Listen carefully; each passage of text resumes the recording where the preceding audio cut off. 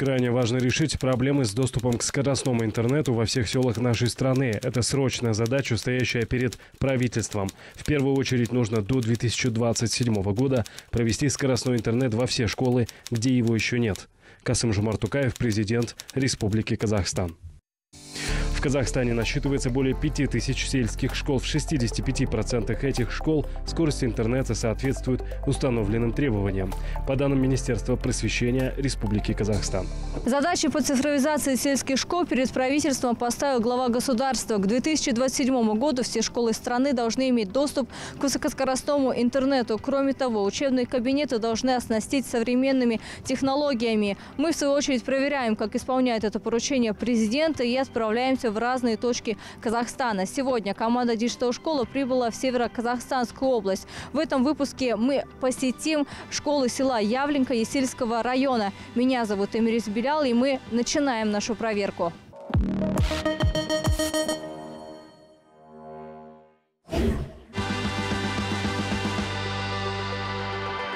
Как они Микроскоп даже в начальной школе? в начальной школе, да. Вот наши дети сейчас работают по станку по дереву. Это именно для пятых-шестых классов.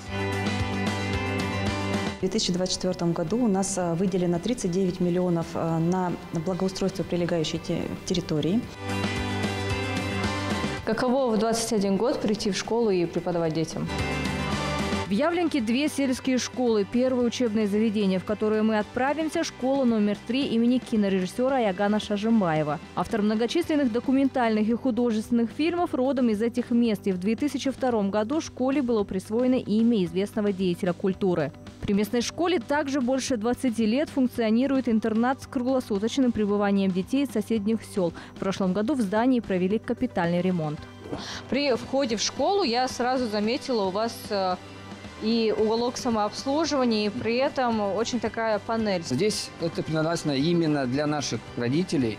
Они могут при входе в школу, э, здесь, например, э, расписание, э, учителя, какие есть э, не предметы. Действительно, здесь можно посмотреть Да, э, информацию об учителе, более того, его стаж и всю информацию, то есть резюме. Попробую отсканировать один из QR-кодов, посмотрим, что он нам покажет. Вот это на, на телефон проходит. Да, действительно, здесь также есть э, расписание. Дети могут свободно, либо ученики, даже учителя посмотреть, какой сейчас у них урок. А для начальных классов специально поставлены вот такие железные шкафчики. Дети не носят с собой. Неделю один раз принесли спортивные свои, вот, например, вещи, и они все здесь. У каждого есть свои ключи, никто не может их отдельно потом открывать. В школе особое внимание уделяют научно-исследовательской работе учащихся, поэтому каждый кабинет оснащен современным оборудованием. Вот и мы работаем, с интересом они работают. Вот мож- можем по этой естественной знанию, вот как микроскоп это получается, можете сами посмотреть, как они Микроскоп даже в начальной школе? в начальной школе, да, у нас. Ой, очень э, интересно. Да, естественные знания и по познанию мира. Вот солью, как они обра- работаем, вот мы высыпаем каждому, э, открываем, вот, и каждому высыпает, чтобы они работали вот с этим солью. Разноцветные соли. Как вы можете смотреть, вот наши дети сейчас работают по станку по дереву.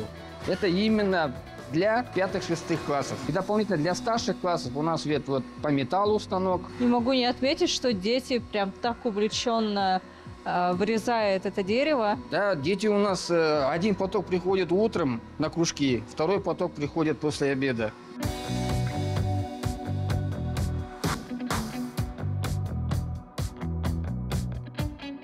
Не забывает и о творческой составляющей учебного процесса. В школе открыт кружок хореографии и зои рукоделия. А в таком мультимедийном кабинете готовят будущих журналистов и актеров.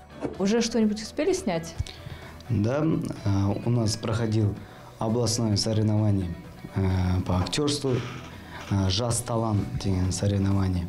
То есть областное соревнование мы снимали тут, с этой камерой. Здесь мы записываем выпуски школьных новостей. В планах открыть свой YouTube-канал, рассказывать о достижениях школы и учеников.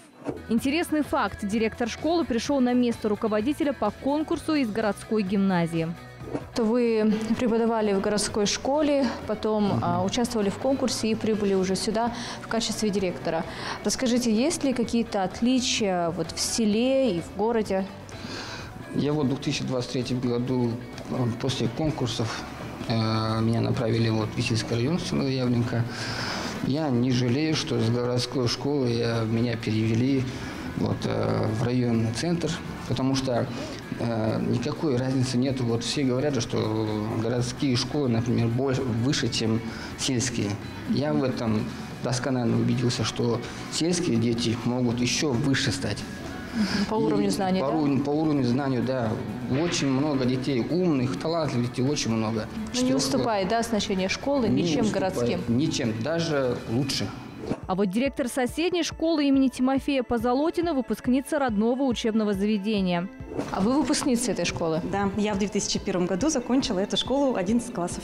А почему решили вернуться? А, Потому что а, в старшей школе я полюбила иностранный язык, а, окончила сначала колледж, потом университет имени Манаша Казыбаева у нас в Петропавловске и вернулась работать в родную школу. В этом году в сельскую школу закупили дополнительные актив-панели. Здесь уже выбирать, допустим, например, некие фигуры. Это, допустим, хорошо, допустим, для математики, допустим, сделать вектор, допустим, сделать какую-то, допустим, например, фигуру. Мы здесь разрабатываем программу Python. Сначала учимся создавать простые программы на языке программирования Python. Это 6 А класс. У них на прошлом роке только началось знакомство с этой программой. Также есть у нас интернет на всех компьютерах, ребята пользуются. Особенно 10-11 классы, потому что в 11 классах они разрабатывают мобильные приложения с помощью там Meetup Inventor. Там необходимо им заходить по своим Google аккаунтам и, соответственно, создавать мобильные приложения. А это сейчас все в школьной программе? Да, это все идет на школьной программе в 11 классе. В 10 классах они создают первые свои веб-страницы. В своей школьной программе я рисовала в Paint. Э, Это уже давно уже ушло.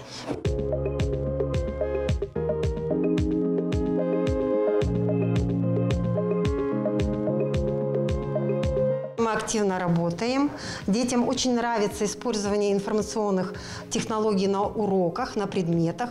Мы активно занимаемся по этой доске на уроках математики, на уроках русского языка, на, при- на предметах устного значения. У нас часто используются презентации, видеоресурсами пользуемся.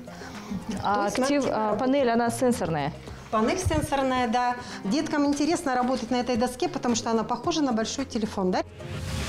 Я работаю 15 лет школьным библиотекарем. Изначально я приходила и получала, знаете, с большими сумками, с огромными, учебники складывала.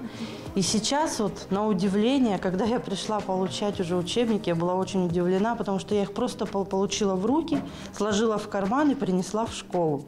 А все почему? Потому что цифровизация дошла и до учебников. Все можно иметь в такой флешке. Школьной программы ученики не ограничиваются. После уроков занимаются научными проектами. Навыки некоторых детей удивили. Э, Эти баннеры были разработаны для э, наглядной наглядного представления моего научного проекта. Я их изучала как, э, собственно, особенность изучения языка. По-английски говоришь? The theme of my project is features of learning English language, the British castles. Uh, in my project, I study English uh, castles as a feature of learning the language uh, because I think uh, it's the well, one of the features of learning language is to study the history of its state.